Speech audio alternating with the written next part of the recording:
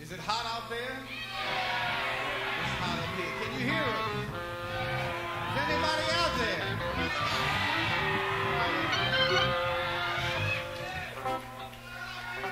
We'd like to dedicate this to all the struggling folks in the house. Even if you ain't struggling.